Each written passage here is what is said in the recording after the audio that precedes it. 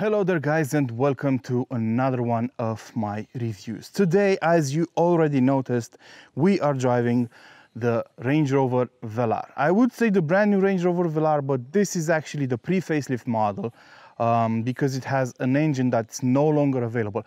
But I'm gonna talk about that later on. So what is the Range Rover Velar? Well, when the car was introduced, Range Rover said it's meant to fill the gap between the Range Rover and the Evoque. So this is it. Um, looking at the automotive landscape today, where every car maker is making SUVs of different shapes and sizes, this was a rational move from Range Rover. This was meant to be made.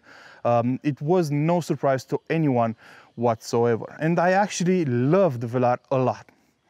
Uh, it fills the gap between those two cars perfectly. And I'm talking about this gap because I know you're gonna say, yo, look, there's the Defender, there's the Discovery, there's the Discovery Sport in the range. Yes, but all those cars are mainly aimed at people who are actually going to take them off-roading.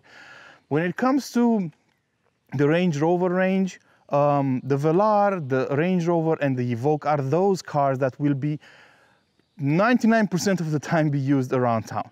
The rest of the range is for people who are actually going to use their off-roading pedigree. It's not going to be the case for the Velar.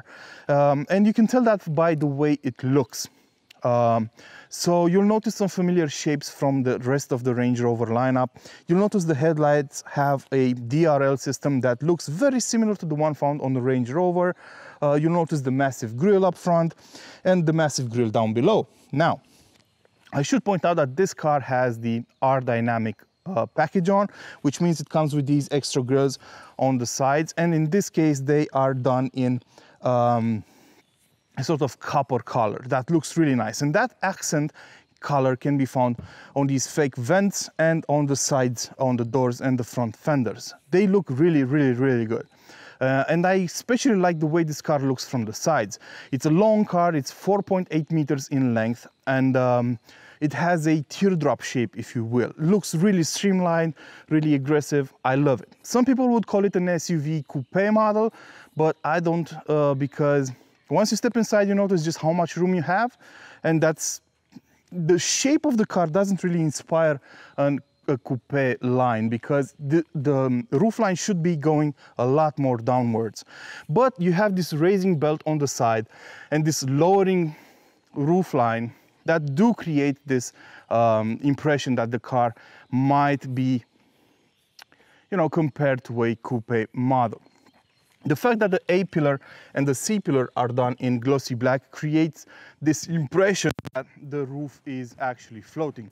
The moment you step inside the Range Rover Velar, you can't but be impressed by the build quality and the perceived quality inside this car. Now I know some people have been saying that the fit and finish isn't up to par with its German rivals, but I beg to differ. I mean, I absolutely love the way it looks and I love the way it feels. We have leather on half of the dashboard and the other half is made with soft touch plastic. Um, we have leather on the seats, leather on the doors. You have an aluminum brushed trim over here that completes the atmosphere inside this car and it feels really premium. There's plenty of space, good visibility all around, and the steering wheel is absolutely marvelous with this black and white finish and this perforated leather inside. I, I even love these huge buttons, even though they're not perfect in the way they work. I love the way they feel and they look. And this car feels very, very premium. And I think it's above the BMW X4 or the Mercedes uh, GLC Coupe, which are the sort of the rivals of this car because in terms of size, the Velar fits uh, in between the X4 and the X6. So it's a bit bigger than the X4, uh, but a bit smaller than the X6. Um, and the pricing reflects that too, um, being cheaper than the X6. But I'm gonna talk about that later on. I love the way they integrated the screen into the dash and you can actually adjust its tilt uh, depending on your personal preference. One mention here though, if you adjust it to sit flush with the dashboard, you might get a lot of reflections in it and it might make it hard to read. Uh, the infotainment system works great It's easy to use. The sub menus might be a bit complicated at first until you get used to it, but overall I think it's a great system. And you also get Apple CarPlay and Android Auto, and they are both displayed across this entire screen, which is yet another plus. And that, you know what, uh, um, eliminates any kind of doubt you might have about the functionality of the infotainment system.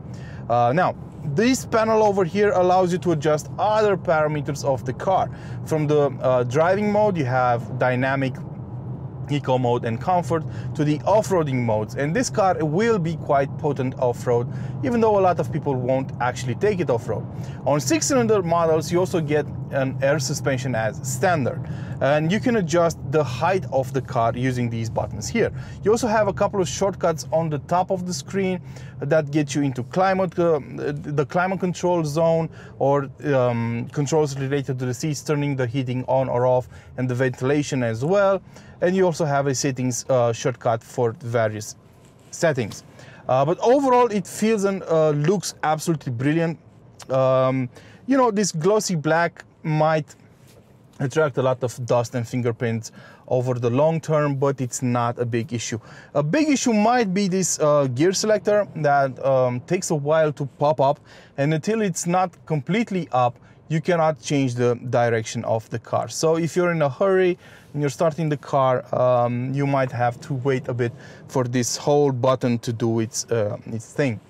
Um, in the back you have a decent amount of room. I fit uh, with the driver's seat adjusted in my driving position, in my preferred driving position. I'm six feet tall and about 250 pounds. Uh, and if I sit in the back right behind me, I also have room for my knees and my head. So that's something um, that's also welcome. Uh, the material, the finish in the back is just as good uh, as it is in the front. Uh, one mention I have to make is the fact that the belt line going upwards towards the back and the sloping roof line do cut into the windows into the back. So you might have a um, claustrophobic feeling at times, but it's really not that bad. Um, but let's talk about the technical side of things. So as I said, the Velar was launched initially uh, in 2017 and up until late 2020, it had uh, 2 liter and 3 liter engines in the lineup as well as a V8 but the 3 liter engines were V6s. Now everything changed at the end of 2020 when we got those uh, V6 engines replaced with the new generation straight 6 mills that we've been hearing a lot about and I've actually reviewed one of those um, on the uh, Defender. So the new Velar comes with um, straight sixes under the hood and with 2 liter uh, petrol engines. But there is one notable engine missing and it's the one we're driving today. This is a pre-facelift model and it's a P300S. That means under the hood we have a 2 liter 4 cylinder petrol engine good for 300 horsepower and 500 newton meters of torque. This engine has been taken out and replaced by a P400E. That's a plug-in hybrid version of the Velar and it has 404 horsepower uh, these days. But I'm going to talk about this engine uh, because I actually liked it. Um, I don't think it's the perfect choice for this car, but it's not a bad choice either. You have 300 horsepower, 500 newton meters of torque. You'll do 100 kilometers an hour in six seconds flat, so it's not a slow car. Uh, the gearbox is an 8-speed from ZF and you get this throughout the range and it does its job marvelously. One thing I will notice uh, and I will men mention is the fact that it feels a bit too sensitive in the first two or three gears. Um, you have to be really careful with your throttle input. And I also don't like the fact that this car comes uh, or doesn't come with an auto hold function, uh, which is annoying. You have to keep your foot on the brake pedal whenever you're in standstill traffic and it gets annoying over time. I mean, this is auto hold is a premium feature and it should be included on a car like the Velar and any other Range Rover as a matter of fact. But that's a topic for a different um, discussion. So uh, the engine um, doesn't really make its make itself heard into the cabin that much. The sound insulation is actually pretty decent on the car, even at higher speeds. You only get to hear the engine when you really rev it up. Uh, and you might find yourself doing that quite a lot because even though it has 300 horsepower, to get access to those 300 horsepower, you have to rev this engine. Uh, and that in turn brings about um, the fuel consumption issue. Uh, now this car is rather thirsty. I haven't seen a fuel consumption figure under 15 liters per 100 kilometers covered ever during my time with it. So um, even though it has a 2 liter engine, it's not going to be very fuel efficient. And I have a gut feeling that a 3 liter diesel or a 3 liter petrol engine might be just as efficient. Uh, they will sip just roughly the same amount of fuel for uh, similar driving characteristics. So you might be better off with a straight six under the hood because this car looks brilliant, feels great, and you deserve to have a refined engine uh, under the hood. Don't get me wrong, the 2 liter is decent, it's not unrefined. The only time you will feel the fact that it's a 4 cylinder, not a 6 cylinder, is in heavy traffic whenever the start stop system kicks in. And uh, when you're standing still and the engine simply starts, you might feel a bit of a judder.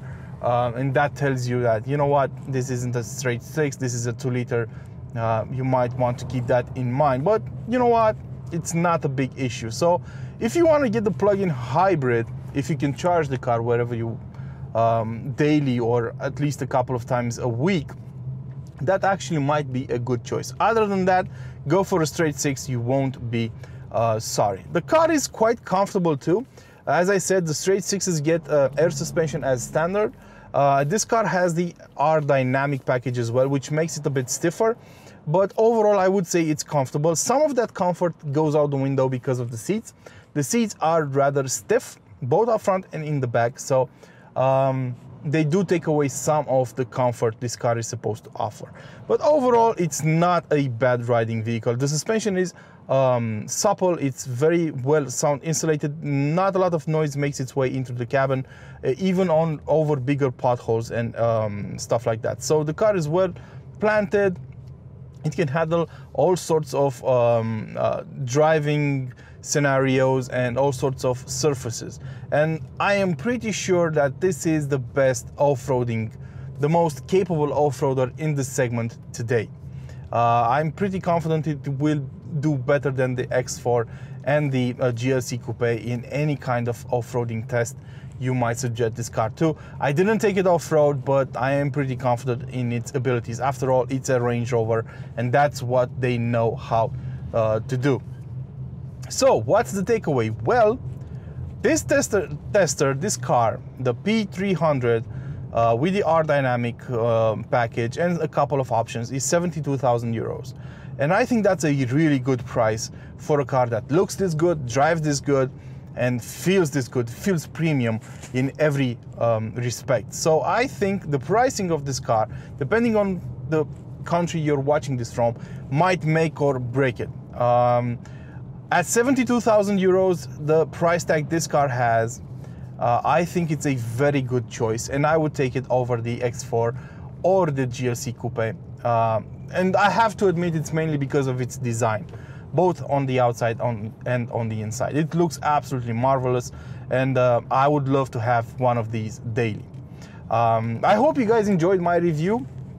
It's bit, it's been a bit unorthodox, but that's that. Um, so if you did, just hit me with a like, hit me with a subscribe to uh, keep this channel alive.